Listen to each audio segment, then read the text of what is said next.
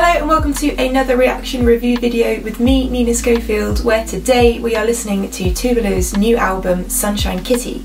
Now this is an album which I have been waiting for for a very long time, a very long time. I am a massive, and I mean massive fan of Tove Lo's music. She has been a huge inspiration for my own writing and just she's just a goddess. I'm going to be honest and tell you guys that I have already listened to this album a lot, a lot, a lot. So this is going to be more of a deep dive into the production and the lyrics and everything that's kind of gone into the album and everything that I'm hearing now that I've listened to it several times. And I'm also going to be honest with you guys and tell you that when I first listened to this album, I was really not sure about it. The first listen that I had, I was in my car, I put it on and I thought, ah, no, no, no.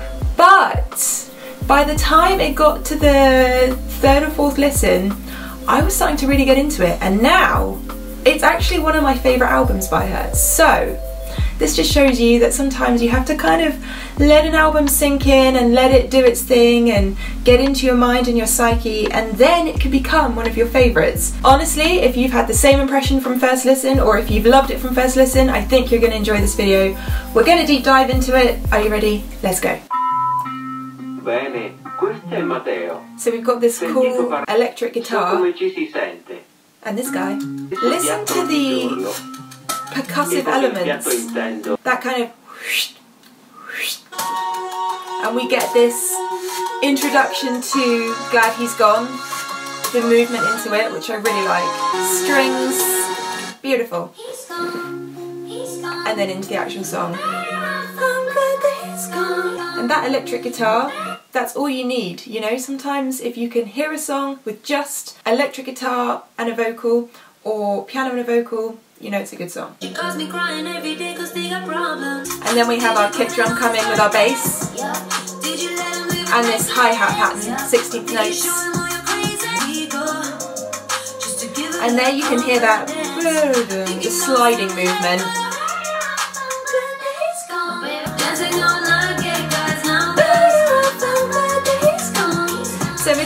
Interesting how our hook is that really high, almost background vocal? You know, it's not supposed to be straight up front in this mix, but it's a call and response type thing that we've got going on and it works so well because it's so catchy. And that's just that vocal and those drums. I love this bit. Very conversational.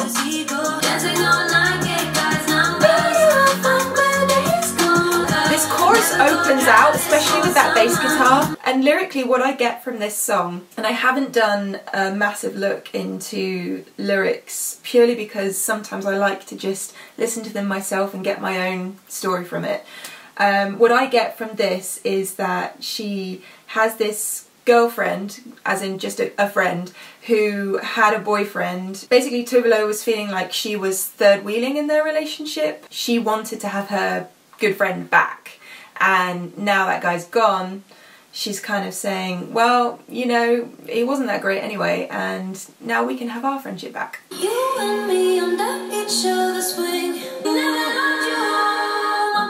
Love the reverb there, and then back into dry. And we've got a tambourine and our string line, which you can hear fading out there at the end of that. Okay, bad as the boys. Track number three. We've got this sample vocal and acoustic guitar.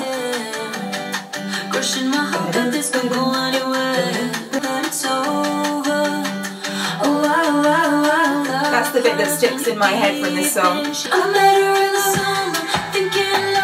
So can you hear how that guitar continues throughout into the chorus from the verse? And it's the bass guitar that comes in there that shows us our transition.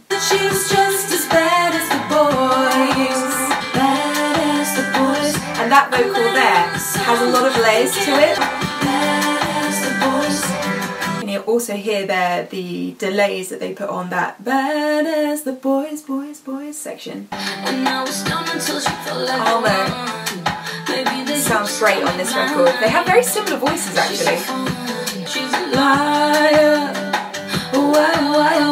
This song is obviously saying that she hoped that she'd found someone that was better than the typical kind of bad boy in this girl, and then it turns out that this girl is just the same as the bad boys that she's been dating, so it's like, ah, can't win, can't win. And here we've got this radio effect kind of taking the vocal back, and then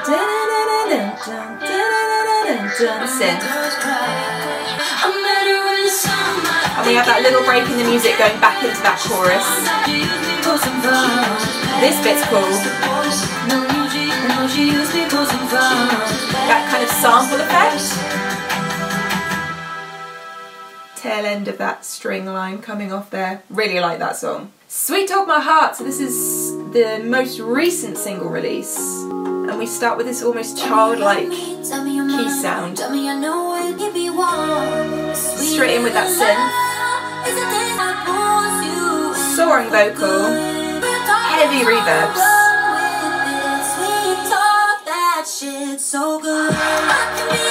Can you hear in that? We had these big reverbs and this big soaring feel, and then just before the hook comes in, everything goes dry and the focus is really placed on that vocal way far up in the mix. That's all you hear. If you're listening with headphones or speakers, that's all you hear. Kind of a tropical drum pattern.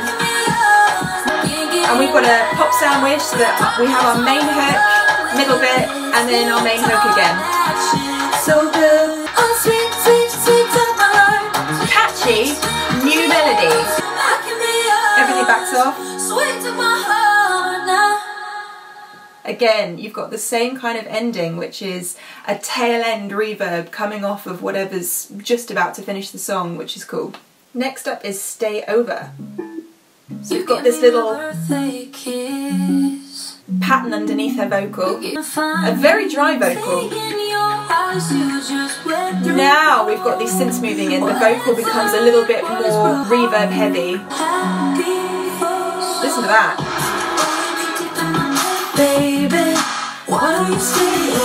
And it's not just the vocal that has that heavy reverb, everything in this section has a lot of whoosh, whoosh sounds going on with it. What I like about this song is that every part is really clearly hers. Over. I know that you plan to be free for a while. Very subtle synth moving in. That's a favourite part for me because we've had more of a heavy reverb in the verse and then suddenly we're bringing it out just before our chorus and we have these whoop whoop whoop bass sounds which are they're just very cool. Another pop sandwich but at the end of this particular one, we have this slightly different vocal. So this again, sample effect vocal. I know it's intense, losing our senses, pulsating synth.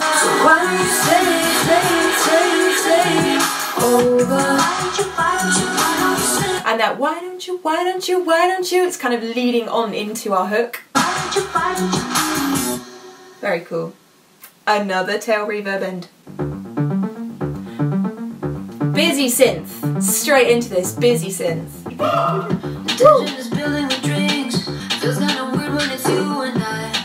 There's a lot of very short, sharp sounds in this. I like how they level up their vocals there, so you get this really cool simplistic effect with having that female and male vocal on top of each other. Boom, boom, boom, boom, boom. Da-na-da. So simple. Can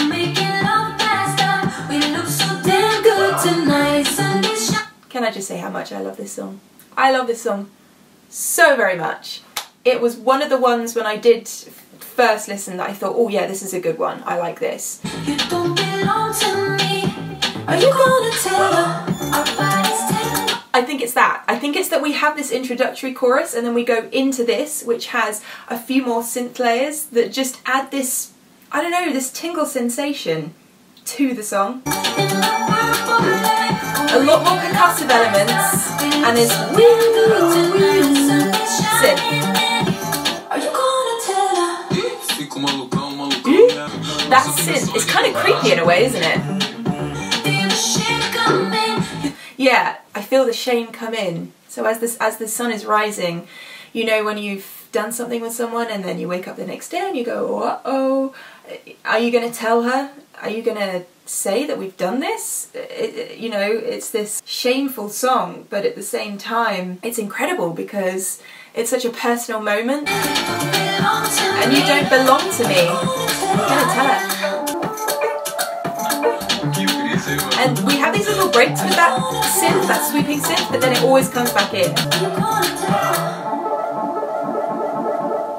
Love that. Oh, okay, so Jacques. This is with Jax Jones, who once liked my Instagram post. Thanks, Jax Jones.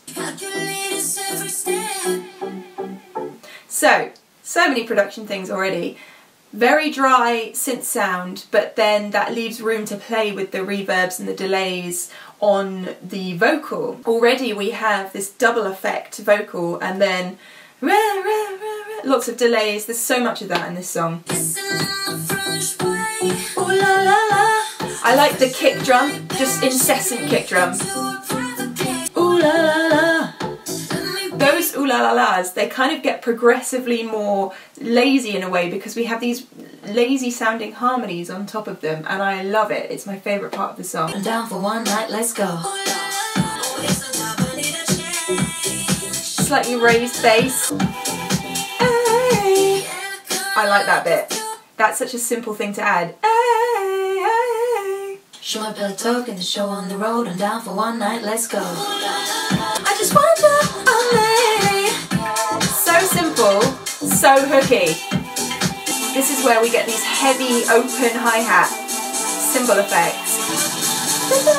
There's little vocals. No talking, I pull my way. And toe, toe, toe. That's all I hear in the background constantly. It's like with our kick drum. Toe, toe, toe. Of different vocal layers here.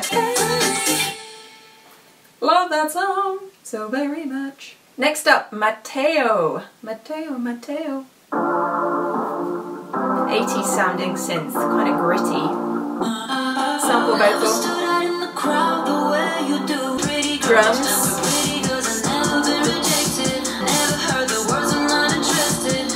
filled with pretty girls who've never heard the words I'm not interested. So this is this takes me back to Tove Lo's song Moments, which kind of detailed that as well, which is one of my favourites of hers by the way. Heavy snare.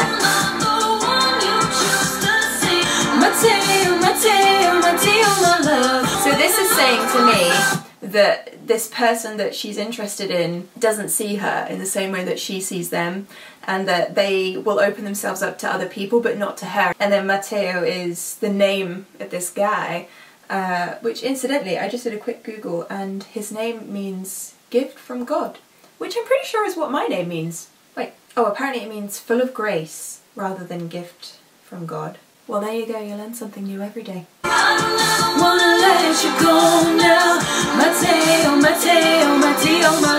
That's a lovely harmony underneath. That bass, it almost holds a pedal point throughout, except for here, there's a break. Mateo, Mateo, Mateo, my love. Just vocal. I've been chasing, but I'm chasing now. Love, love makes you wild. But that vocal has the octave above on, very subtly. You just kind of hear the tail end of it, but it's there. I act so cool, but that's not me. Different synth sound. Mateo, Mateo.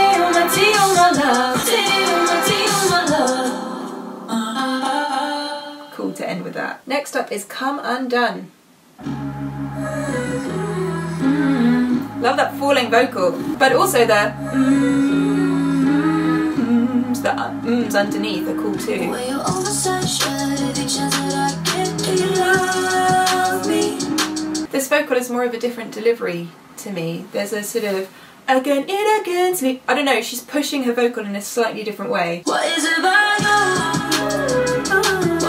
this song, to me, the hook is the...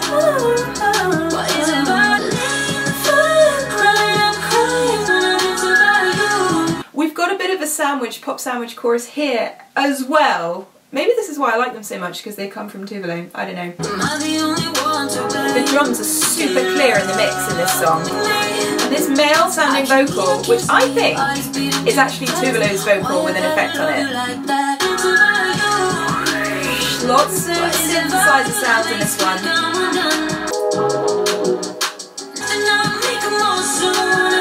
There we've got double tracking of certain vocals. Double tracking is where you record one vocal and then you use that as your main vocal and then you repeat that vocal recording several times so that you can have this layered effect.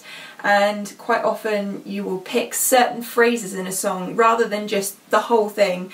You pick certain phrases, key phrases that stand out to the listener and you add that double layered effect on top of that vocal and it's a really subtle way of making a lyric stand out.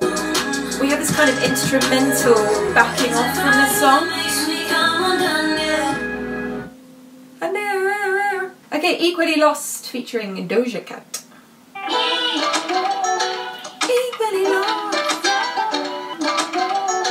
Can you hear the bum bum ba da dum?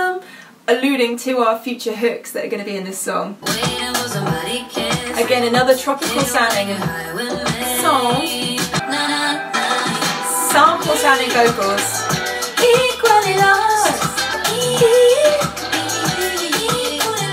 So we've got that e, e, lots of e sounds in this song.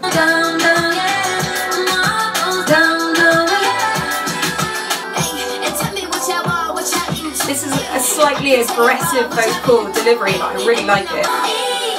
Great vocal tone. That raise. Now you can really hear the drum pattern and the percussive elements of this. Cool. Oh, here comes my favourite song, my favourite of the whole record. This is amazing. This is the Kylie Minogue Tove Lo duet that we didn't know we needed, but we do. I always feel like this song could have been released in the I Can't Get You Out of My Head era from Kylie Minogue. It's, oh, it just suits the both of them so well. See you got cars in all the places that count. Looking at you, he was happy now. Why did he go to this party? This vocal raise, like, you don't often go this high in a pre-chorus, but here we do. You he'd be here with somebody. I know I got no right. Really, I just don't like you. Look prettier than I do. That lyric, that lyric, two ways it's great. First, it's really super personal and it's our thoughts in song form. I don't like you, I probably should, but you look prettier than I do. And it's the way that they transition from I know I just don't like you, look prettier than I do. It's that movement where you have the you in the centre of those two lyrics that is the glue that holds them both together. Really,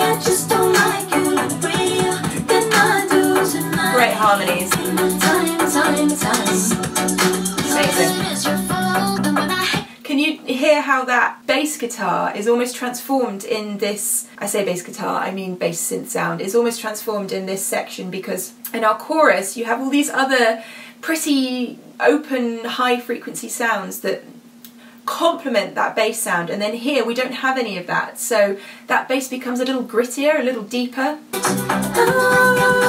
got these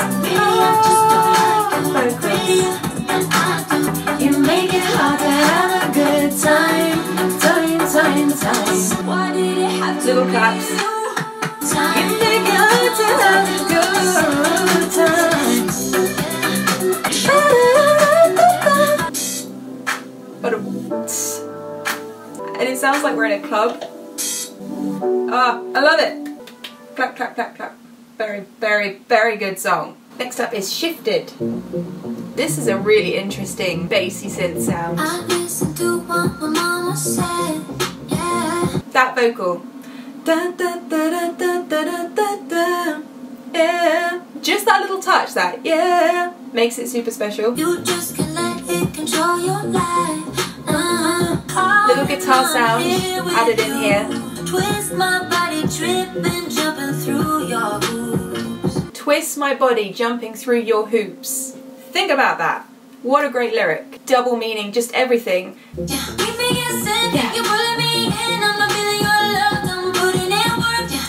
There's a very subtle movement into that chorus, and part of it is that the vocal of the chorus has a different reverb effect on it. I'm down, down, I'm down, down, put it in words. Put it in words. I just can't let it control my life, but I'm tired too. Lovely harmonies. Keep me guessing, That bass. you're pulling me Woo, enters the song in a way. You know what I mean? I'm down, down, put it in words. That's what I want. Just there.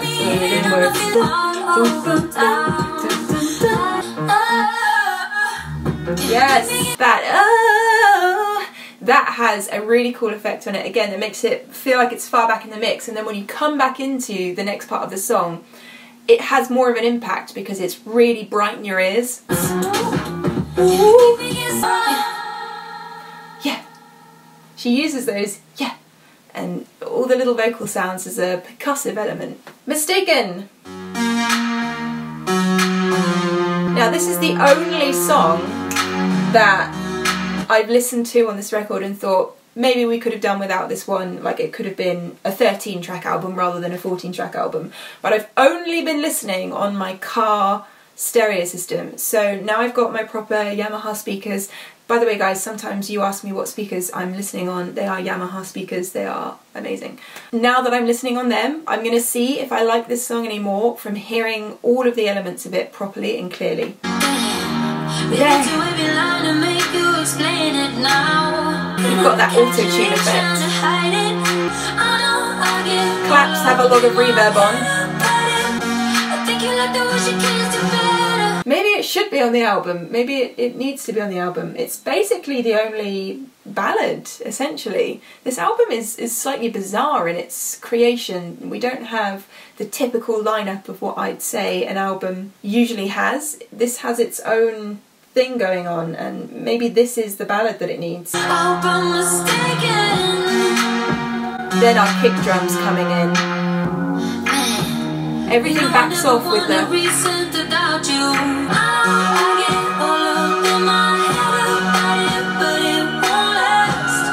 I know I get all up in my head about it, but it won't last. This is something that a lot of us do, I think, get caught up in our own story versions of what's happening when the reality is slightly different. But I think that here she's questioning, you know, something's going on. Am I mistaken about it? I really hope I am.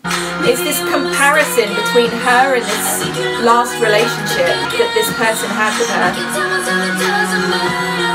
Now, this bit I really like. Because she uses her vocal as an instrumental, that's not the typical instrumental to, to take your vocal and then add loads of effects on it so you can kind of move it around like a, I don't know, a solo clarinet or saxophone or something. It sounds really cool. It's a different element to the album that we haven't yet had. I hope I'm mistaken. loads of heavy reverbs at the end of that song. Last song, Anywhere You Go. Slightly tribal sounding drums. And that Try to laugh it all off. Truth is, I'm lost 'cause I'm supposed to be. From that's where we get this 80s synth movement. now never, I follow you anywhere you go. And our chorus hook you anywhere you It's go. kind of empty instrumentally. Say that we'll be there through it all. It's that guitar part that we've got underneath that's kind of carrying this bit. And this bit is where we have everything kind of coming in, where you'd expect your chorus to have that. To me, this is like the B part of the chorus. Similar melody though. We've got this call your friends, all these new faces are 16th pattern, but then there. So basically, this isn't home, but I'll follow you anywhere you go. Lots of vocal layers.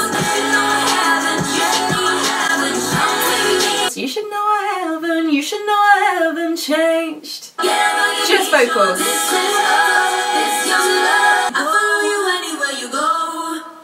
Beautiful.